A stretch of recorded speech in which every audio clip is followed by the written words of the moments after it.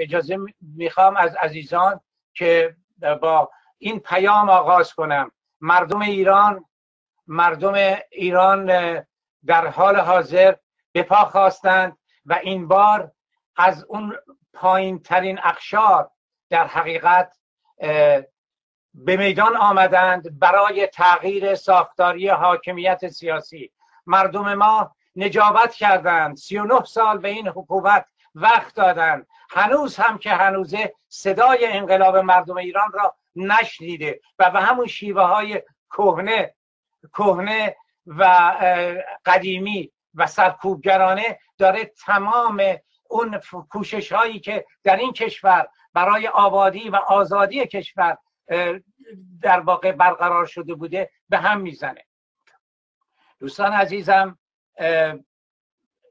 نقطه حساسی از تاریخ قرار داریم ما بر این باوریم که میبایستی بدون دخالت بیگانه تنها با همکاری همیاری و همگامی جنبش آزادی خواهانه و عدالت جویانه سراسری برون و درون کشور ما بتوانیم یک حاکمیت سیاسی برآمده از مردم رو و در واقع دموکراسی رو در کشور سازگار در مستقر کنیم نهادینه کنیم. ما مردم ایران ارز می‌کنم. و بتوانیم در حقیقت تمام بحران هایی که به وجود اومده با استقرار دموکراسی در ایران خاتمه بدیم. بدون دخالت هیچ گونه عامل خارجی. و فقط به دست توانای مردم ایران. من از دوست عزیزم سپرداد گرگین خواهش می‌کنم گزارشی از تورنتو برای ما بدن که فعالیت ایرانیان در خارج از کشور در تورنتو چی بوده. تصویرتون رو بابا به اشتراک بگذارید. سپرداد عزیز. بله بفرمایید. با اجازه بفرمایید با درود گرم و خوزستانی خودم از سرمای 25 درجه زیر صفر تورنتو خدمتتون عرض بکنم. تمام دوستان عزیزی که در این پنل هستند و تمام ایرانیان آزادخواهی که در سر تا سر جهان دارند به ما گوش میدند و با ابراز همدردی به خاطر کشته شدگان و داغ نشستگان این قیام اخیر مردم ایران و با تبریک و تشکر از کسانی که تک تک آهاد ملتی که در این قیام شکوهمند مردم ایران دارن شرکت می‌کنند گزارش خودم رو خدمتون تقدیم بکنم جناب بدی عزیز. شهر تورنتو علا رقم سرمای بسیار شدیدی که ما چند یکی دو هفته گذشته داریم این رو مشاهده می‌کنیم واقعا 20 درجه زیر صفر و اکسیون گذاشتن در خارج از خانه ها و بیرون بسیار بسیار سخت هستش. اما به همت بسیاری از دوستان عزیز و مخصوصا اینجا جا داره که من از نهاد مادران علیه اعدام جناب بیژن فتحی و خانمشون محوش اللاسفندی بسیار بسیار سپاسگزاری بکنم که در این زمینه واقعا بسیار فعال هستند و در دو زمینه بسیار مهم دارن کار می‌کنند دوستان بسیار زیاد دیگری هم هستند که جایش اینجا نیست که من یعنی فرصتی نیست که من بخوام نام های اونها رو بگیرم. ولی در به اصطلاح همین الان که داریم صحبت می‌کنیم آکسیونی هستش که قرار هستش از جلوی سوپر ارزانی که در شهر تورنتوست به اصطلاح پرچم به دست و با بدون اینکه شعاری چیزی بدن با ماشین های خودشون به اصطلاح یک مسیر رو طی بکنن. در چند روز گذشته همینجور اکسیون های زیادی ما داشتیم. در میدان مل ما اکسیون داشتیم. ایرانیان عزیز شرکت کردن آزادی خواهان عزیز شرکت کردن. ولی یکی از کارهای بسیار بسیار مهمی رو که به اعتقاد من نهاد مادران علیه اعدام انجام داده و جا داره که ما روش تعمق بکنیم اینه که اصلاح طلبان و کسانی که تحت لوای به اصطلاح مبارزه زیر عبای این رژیم قایم شدند و تحت این عنوانی که سالهاست که متاسفانه در بین دوستان عزیزی که مبارز هستند ولی باز اشتباه جا افتاده و اون که آقا اسم نبرین آقا اسم نبرین اسم نیارید اینها اگر مثلا کسانی هستند در شهر من و اینها ما میشناسیمشون اینها اگر بیان وارد شهر شما بشن و ما اینها رو معرفی نکرده باشیم خب مسلما وارد احزاب شما میشن وارد تشکلهای شما میشن و شما نمی‌شناسید اینها رو. اینه که نهاد مادران علیه اعدام لیست بلند بالایی از اینها که تمام این افرادی که در این شهری که من زندگی می‌کنم تهیه کرده گزارش به مردم داده و اینها همه به اصطلاح قابل اعتبار هستش. ما می‌شناسیم این افراد رو. سالها تعدادی فریب خوردند چون اینها روزنامه داشتند به اصطلاح سعی کردن بالاخره به نوعی جنبش مردم رو به عقب بندازن که تا به حال ما نزدیک 37 سال هستش این ماجرا اتفاق افتاده. و همینجا قدردانی می‌کنم از دوستان عزیزی که در این زمینه فعالیت کردن. اگر دوستان عزیز که سر سر تا سر جهان هستن خواستار این هستند که این اسامی رو بدونن به بنده بفرمایند. من همینجا در خدمتتون هستم. این اسامی رو خدمتتون میگم. اگر که جناب بدی بعدا به من اجازه بدن من خواهم داد این اسامی رو فقط اینه که درخواست شما باید باشه دوستان عزیز. و دیگر اینکه به اصطلاح همزمان با مبارزات مردم ایران ما در اینجا به اصطلاح با تمام دولت مردانی که در اینجا هستند با دولت های محلی فدرال در تماس هستیم سعی می‌کنیم به اینها بگیم که واقعیت چهره واقعی این قیام مردم چی هستش و اینکه نگذاریم که پشت درهای بسته من همینجا هوشیاری میدم به تمام کسانی که دل دارن در گروه به اصطلاح مبارزات مردم ایران. هوشیار باشیم برای ما کنفرانس گوادالوپ دیگری درست نکنند. و این بسیار بسیار مهمه که هر کدام از ما اگه بتونیم به هر زبانی به هر صورتی به هر نقص و به اصطلاح کوتاهی که داریم در این کار به دولت مردای خودمون به مدیاهایی که در محل منطقه‌ای که هستیم محلی که زندگی می‌کنیم بفرستیم و بگیم که واقعیت امر چیه مردم ایران برای چی به پا خواستن اصلا این دفعه ما واقعا رژیم ولایت فقیه رو نمی‌خوایم. ما جمهوری اسلامی رو مردم فریاد زدن که نمی‌خوان. نه اصلاح طلب می‌خواهیم ما. نه به اصطلاح اصولگرا می‌خواهیم نه از دامن احمدی نژاد به دامن نمی‌دونم دیگری افتادن می‌خواهیم. ما می‌خواهیم خود ما ملت ایران بدون دخالت کشورهای غربی به صورت مسالمت آمیز زندگی بکنیم لذت بدیم به, به جهان اطراف خودمون و لذت بگیریم از جهان اطراف خودمون. این خواسته ماست و به هر زبانی که می‌تونیم باید به دولت مردان خارجی بگیم که مماشات بس اگر دولتی در ایران سر کار آمد و ما تشخیص دادیم که باید قراردادهای خوب اقتصادی که به نفع همه ماها باشه چه دولت کانادا باشه چه دولت سوئد باشه چه آمریکا باشه ما با شما میشینیم قرارداد میبندیم به عنوان یک ملت بالغ به عنوان یک ملتی که دیگه احتیاج نداره که دزدانی باشند که پشت سر ما بخوان منابع ما رو غارت بکنن به سمن بخش به شما بدن. اینها مسائلی هستش که بسیار بسیار مهمه. و من اعتقاد دارم روشنان روشنفکران ما در این زمینه باید قدم اول رو بردارن. جناب بدی عزیز ماهایی که می‌فهمیم اگر این کار رو نکنیم اگر قصور بکنیم در فردای ایران ما واقعا مقصریم. همونجور که همه ما می‌دونیم که اگر مثلا پدران ما در 1400 سال پیش یه تعداد زیادی نمی نشستن در خانه ها ما به این روز 1400 سال نمی افتادیم یا در مقاطع مختلف تاریخی همینطور. اینه که دوستان عزیز بسیار بسیار مسئله مهمه. جنبش در تمام شهرهای ایران ادامه داره. من ارتباطات بسیار گسترده ای با ایران دارم. می‌دونم از شهرهای مختلف که چه داره میگذره و فقط و فقط اطلاع رسانی بسیار بسیار مهمه. دوستان عزیز سعی کنید فکر نکنید که اگر یک خبری برای شما می‌رسه همه می‌دونند و دیگه احتیاج نداره اون رو بفرست هزار دفعه هم که بفرستید باز هم هنوز که هنوز کمه. اشکال نداره ما ده دفعه یک خبر رو بگیریم.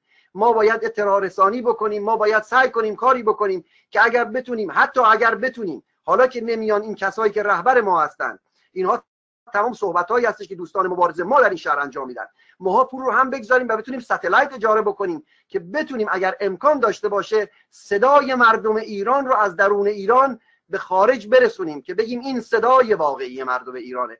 اینه که من عاجزانه از دوستان عزیز تقاضا دارم این مسئله رو جدی بگیرید. مسئله حیاتی است مسئله فرزندان ماست. شاید بسیاری از ما بر نخواهیم گشت به کشورهای ایران. اما کسانی که در ایران زندگی می‌کنند این کوچکترین وظیفه ماست. این حداقل کاری است که ما می‌تونیم در قبال آینده اون مردم فلک زده بکنیم که ما می‌دونیم که بعد از رفتن این رژیم جمهوری اسلامی هزار و یک مشکل داریم. مشکل آب داریم مشکل هوای خراب داریم مشکل خانه هایی که سر گسل های زلزله هستش داریم. همه این مشکلات باید حل بشه. و همینجا اجازه بدید یک پیغام بدم به عوامل رژیم جمهوری اسلامی. ما خواهان کشتار شما نیستیم. ما خواهان این هستیم که حداقل اگر شما ظلم کردید تجاوز کردید کشتار کردید ما کبیر لوت رو به شما میدیم امکانات رو میدیم و بهتون میگیم آباد بکنید اینجا رو. ما شما رو زندانی نخواهیم کرد. ما به شما امکانات انسانی میدیم که اون کشور رو آباد بکنید. بس است. دست بردارید از کشتار فرزندان شجاع این خلق. من تشکر می‌کنم از اینکه به من این فرصت رو دادید که در خدمت دوستان باشم. اگر سوالی چیزی هست من در خدمتتون هستم عزیزان من. سپاس از سپاس از شما آقای سپرداد عزیزم. از شما سپاس گذارم با در واقع پیام بسیار خوبی بود. دوستان در جریان قرار گرفتن سپرداد رو قسمت اعظم عزیزان مبارز و کنشگر می‌شناسند. سالهاست برای استقرار نظام عدالت جو و دموکرات کوشش می‌کنه. و این کوشش ها همه دارد به خوشبختانه به بار می نشیند بفرمایید آقای سپرداد با درود مجدد خدمت شما. من سوالات رو اینجا طبقه بندی کردم دسته بندی کردم. به یک تعدادیش رو که می‌تونم جواب بدم تا فرصت هست. در خدمتون هستم. دوستان عزیزی که در ایران هستند و صدای ما رو دارن میشنوند من به عنوان که یکی از رهبرای خیابونی انقلاب 1357 با شما صحبت می‌کنم. اولین مسئله که برای شما مهمه اینه که باید شوراهای خودتون رو تشکیل بدید. یعنی دوستانی که در یک منطقه یک محیط هستید می‌شناسید همدیگر رو پیدا بکنید با همدیگه ارگانایز بکنید هماهنگ بکنید و این مهمترین مسئله هستش که باید شما در اولین قدم در اولین گام با همدیگه کار بکنید. بعد از اون ارتباط با افراد دیگه محلای دیگه و جاهای دیگه. این رو در ادارات تمام مجامعی که هستید باید انجام بدید. این مهمترین مسئله هستش. دوستان پرسیده بودن که آیا واقعا نقش ترامپ و کشورهای غربی در این زمینه چی هستش؟ ببینید دوستان عزیز الان در این موقعیت تاریخی ما می‌دونیم که ترامپ و کشورهای سرمایداری غربی دنبال منافع خودشون هستن. ولی یک همسویی در اینجا به وجود اومده اونها از منافع خودشون و ما هم از منافع خودمون یعنی مردم ستم دیده هم از طریق منافع خودمون باید از این همسویی استفاده بکنیم. و اون اینه که ما بتونیم فشار وارد بکنیم که بتونن اینها مثلا اگر که گفته بود مطرح کرده بود آقای ترامپ که ستلایتی هستش که متخ... به اصطلاح در خدمت ارتش آمریکا هستش و از این بتونه استفاده بکنیم برای اینکه ارتباطات درون ایران اخبار از درون ایران شنیده بشه و اخبار به ایران برسه. این یکی از مسائلی هستش که مثلا ما می‌تونیم کار بکنیم روش بهشون فشار بیاریم از این همسویی استفاده بکنیم. مسلما مسئله دیگری که اگر که در خبرها اومده. شنیده باشید می‌دونیم که کشورهای غربی مخصوصا به پیشنهاد شوروی که می‌خواستن پشت درهای بسته و الان هم شروع کردن صد درصد این کار شروع کردن. پشت درهای بسته بنشینن و ببینن چه منافعی به نفعشون هست. مثلا اگر ایران به صورت سوریه در بیاد آیا چه چه نفعی مثلا کمپانی های تسلیحاتی آمریکا خواهند برد؟ چه نفعی کمپانی های تسلیحاتی غرب مخصوصا به اصطلاح کشورهای مثل فرانسه و آلمان و خود روسیه. اینها مسائلی هستش که بسیار بسیار مهمه. ما باید این رو دنبال بکنیم. ما باید هوشیاری بدیم. مسئله دیگه که مطرح کرده بود که آیا سلطنت طلب ها به اصطلاح دارن این کار رو می‌کنن که هژمونی خودشون رو به به اصطلاح این جنبش اعمال بکنن؟ دوستان عزیز باید این رو توجه بکنید که این واقعا طبیعی هستش که در هر جنبشی از دیوار مثل مور و ملخ میریزند افرادی که به اصطلاح دنبال این هستند که صندلی های قدرت رو بگیرند. مسئله که برای ما مهم هستش اینه که یک اگر یادتون باشه خمینی با اون دجالیت خودش متوجه شده بود که می‌گفت وحدت کلمه.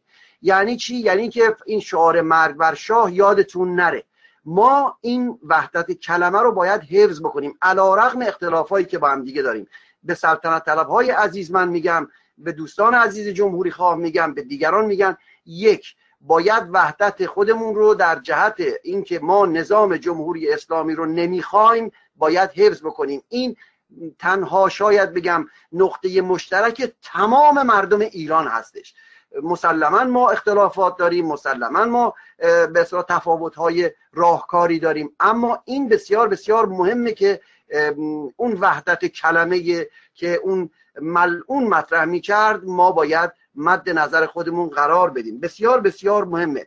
و از دوستان عزیز سلطنت طلب هم خواهش می‌کنم اینقدر به اصطلاح در این راه این جنبش سنگ نندازند. بخوان آقای رضا پهلوی رو به عنوان پادشاه مطرح بکنن ای پادشاه رضا شاه دوم مطرح بکنن که این یک اختلاف شدیدی به وجود میاره. دوستان عزیزم مطرح کردن که پرچم نباید به اصطلاح مورد اختلاف باشه یا چیزهای دیگری. این بسیار بسیار مهم و حساس هستش. و اینی که باز مطرح می‌کنن که میگن که ما باید در ایران چه کار بکنیم. دوستان عزیز رژیم با هزار و یک ترفند با هزار و یک برنامه سعی می‌کنه که جنبش رو به اصلاح عقب, عقب نشینی وادار بکنه. مسلما کشت و کشتار می‌کنه. اون جاهایی که می‌تونن دوستان عزیز می‌تونن از خودشون دفاع بکنن. دفاع یک حق مشروع انسانی و یک حق طبیعی است. باید از خودتون دفاع بکنید باید از رفیقاتون دفاع بکنید. ببینید کمیته هایی که میگم تشکیل بدید در این جهت هستش که بتونید چطوری دفاع بکنید از خودتون. کسانی که سرکوبگر هستند رو چجوری بدونید بتونید شما ایزوله بکنید منفرد بکنید. به اصطلاح دست اونها رو کوتاه بکنید از قصابی کردن از جنایت کردن از کشتار کردن. اینها بسیار مسائل مهمی هستش که باید مد نظر قرار بدید. این که دیگه باید بترسید که آیا غرب بیاد بکنه یا نکنه همه بستگی به ما داره. مایی که هستیم چه خارج از کشور چه داخل کشور. یک باید ارتباطات خودمون رو گسترده تر با هم دیگه بکنیم. از اینکه بشینیم بگیم یکی دیگه برای ما این کار انجام میده نمیده هیچ کس نمیده. خودمون آسیم بالا بزنیم همدیگه رو پیدا بکنیم. اگر مثلا من می‌بینم مثلا در فیسبوک به عنوان نمونه. می‌بینم سلطنت طلبی اومده و میگه آقای رضا شاه مثلا اینجور اینجور اینجوری من به شخص جوابش بدم که الان این موقع نیست. می‌دونید همین جواب دادن ها این افراد رو به عقب وادار می‌کنه. مسلما افراد جمهوری اسلامی این اختلافات رو میندازن. تحت نام های مختلف به اعتقاد من افشا کردن نام اینها در شرایط حاضر بسیار بسیار مهمه. همین کاری که نهاد مادران علیه اعدام کرده و در این شهر ما که هستیم افرادی رو که اصلاح طلب به اصلاح در زیر عبا پنهان بودن که خیلی هاشون واقعا من خودم شخصا تصور می‌کردم که اینها یه آدمای مبارزی هستن. ولی می‌بینم که نه اینها اومده بودن جا خوش کرده بودن. اینها رو به جامعه معرفی کنیم اینها رو به اصطلاح ایزوله بکنیم و صفوف رو پاک بکنیم. هیچ ترسی دوستان عزیز مخصوصا روی صحبت من با دوستانی که در ایران هستند این ما هستیم که در یک برهه تاریخی قرار گرفتیم. و اگر که ما ده برابر کار می‌کردیم کارهای خودمون رو صد برابر بکنیم. من یادمه در انقلاب 57 ما صبح بلند می‌شدیم از خواب می‌گفتیم امروز باید چه کار بکنیم کجا باید بریم. مثلا ساواک گرفتن ساواک شیراز رو که من یادم هستش تمام طبق برنامه و نقشه ما انجام دادیم. این هستش که دوستان عزیز باید همدیگر رو پیدا بکنید نترسید جلو برید برهه تاریخی حساسی است. اگر که غرب هم ببینه که شما در درون به اصطلاح جنبشتون فروش فروکش کرده مسلما اینها راه سازیش رو آرام آرام پیش خواهند گرفت. و یا اگر ببینن موقعیتی پیش بیاد که ایران رو بتونن مثل سوریه بکنند ایران رو مثل سوریه خواهند کرد. چرا؟ چون کمپانی های اسلحه سازی در زمانی که جنگ سوریه برقرار بود 24 ساعته کار می‌کردن. من کار می‌کنم در کانادا هستم در اطلاع دارم من. چون در کمپانی که کار می‌کنم متاسفانه اسمش نمی‌تونم بگم ولی ما به اصطلاح این برنامه رو اطلاع داریم که اینها برای سود اقتصادی خودشون دست به هر جنایتی می‌زنن. ولی حالا که همسو شدن با ما مخصوصا آقای ترامپ همسو شده چرا که نه؟ از رهبرانی که به اصطلاح در آمریکا هستند رهبران اپوزیسیون بالاخره گروه هایی هستند که چهار نفر رهبر دارند که اینها تقاضا می‌کنیم ما. به اصطلاح اینها به نامه های خودشون رو بفرستن تماس های خودشون رو بگیرن با کاخ سفید با جاهای دیگه. و تقاضا بکنن که اخبار مهمترین مسئله اینه. اخبار به ایران بره و اخبار از ایران بیاد. اینه که من یه مقداری از سوالات رو جواب دادم که فکر می‌کنم فرصت برای دوستان دیگر باشه که اگر می‌خوان به سوالای دیگه جواب بدن. اگر هم باز برنامه قطع و وصل میشه و دوستانی هستند که وصل هستن می‌تونن جواب بدن به نظر من این وقت رو تلف نکنیم و این کار رو انجام بدیم. تشکر می‌کنم جناب ودی عزیز. سپاسگزار از شما. سپرتات گرامی و ممنون خیلی مختصر و مفید و جامع به بعضی از پرسش پاسخ